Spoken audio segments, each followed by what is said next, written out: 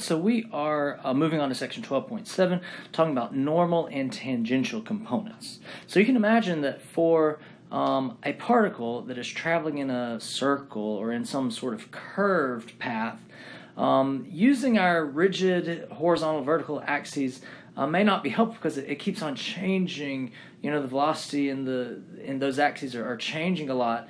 Uh, it turns out that it might be a lot more beneficial to define our axes instead of x and y axes, to define our axes as normal and tangential axes. Or maybe here's E normal. So that's a unit vector in the normal direction, uh, and E tangential, a unit vector in the tangential direction.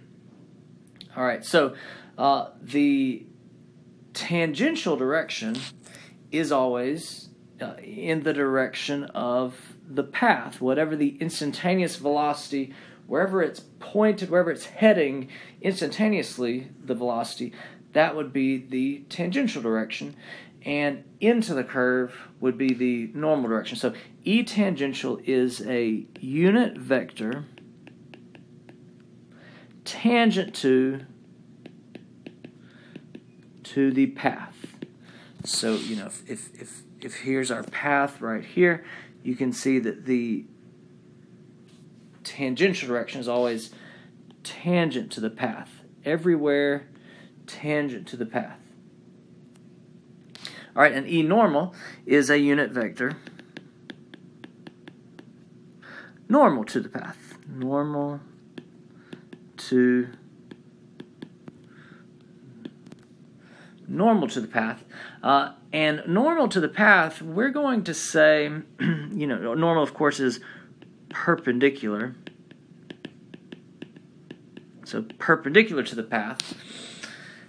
And so we're going to say this is always into the curvature.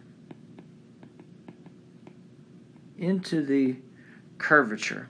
Right? See how this normal direction is into this, you know, concave uh, curvature. This is into the curve. But then when it when it starts twisting this way, that would be into the curve. Now back this way, that would be into the curve. All right, so that's important to know that normal is always into the curve. Okay, so let's think about this. Because E tangential, because our unit vector in tangential direction is defined as always tangent to the path, it is always in the direction of the velocity. Always in the direction of the velocity. So, if we wanted to write the velocity as a vector, we would just say the velocity, all of its magnitude, is in the tangential direction, E tangential.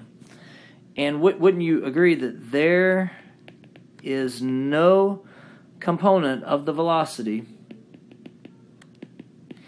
in the normal direction. There's no velocity in the normal direction. Uh, so our velocity, you know, if we wanted to write velocity as a vector, it's it's pretty simple. It's just whatever the speed is or whatever the magnitude of velocity is uh, in the tangential direction. But acceleration is a little bit more interesting. All right, so obviously acceleration is still the derivative of velocity, the time rate of change of the velocity vector. So let's take the derivative of this uh, velocity. All right, so uh, we've got two things that are being multiplied to each other. Let's use the product rule. So the derivative of the first, dv dt, e tangential, plus v times the derivative of the second, the time rate of change of ET, of the unit vector in the tangential direction. All right, first let's think about this term. This term is what we're used to.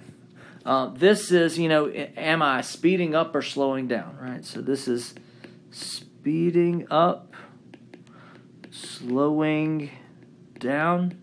You know, am I getting faster or slower? So this is the, you know, change in speed. And the direction the direction of that uh, change in speed, speeding up or slowing down, is in the tangential direction. All right, so so this is what we're used to. This is kind of like a, a 1D problem. You know, am I speeding up or slowing down in the direction that I'm going? Okay, so the first term is is pretty straightforward. That's our our normal speeding up or slowing down term. Now the second term, uh, it's velocity times the derivative of the unit vector in the tangential direction. Now, this is not zero. You know, ET could be changing. Right? The E tangential could be changing. If we look, you know, E tangential would be right here, E tangential would be right here. It, it's changing directions. It's not changing magnitudes because unit vector has magnitude of 1. It could be changing directions, so, so it could be changing. All right, so let, let's just say this term is not 0. So what is it? And, and that's kind of what I'm what I'm asking. What is this term right here? The time rate of change of the tangential um, unit vector. All right, well, let's start with the definition of an arc length. We know that this arc length right here, this distance s, is equal to rho, if we've got some radius type thing, times beta, the angle that um, that s is, is traveling. All right, so that, that's the definition of an arc length. Uh, s is rho times beta. All right, so if we're traveling along this circular arc or this path, if we're traveling along this uh, circular path, our velocity would be the change in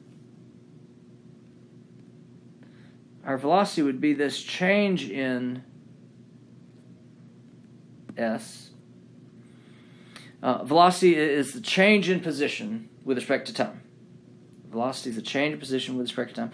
And I, instead of saying s, I'm going to say rho times beta. So instead of saying s, I'm going to associate that with rho times beta, where rho is the radius of curvature, beta is the angle that we have traveled.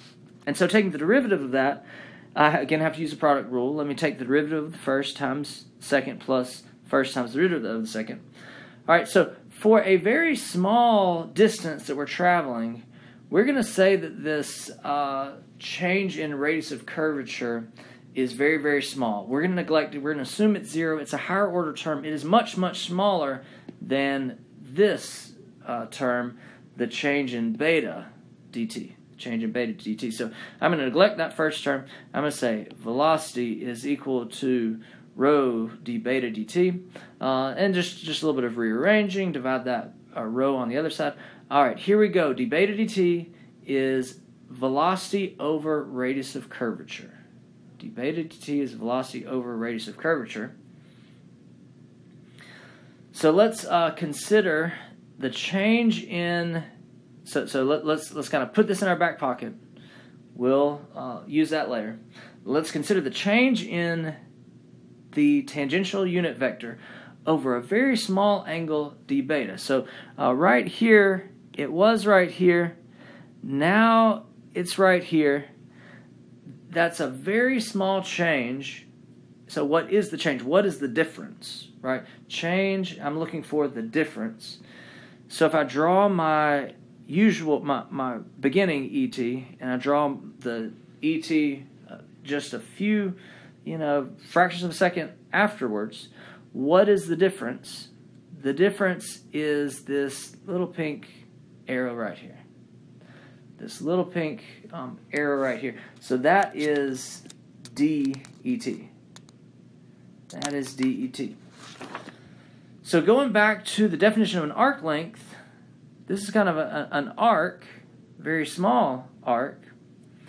Um, the arc is equal to the radius of curvature times d beta. The arc is the radius of curvature times d beta. Here, the radius of curvature is 1. Both of those lengths are 1. They're unit vectors.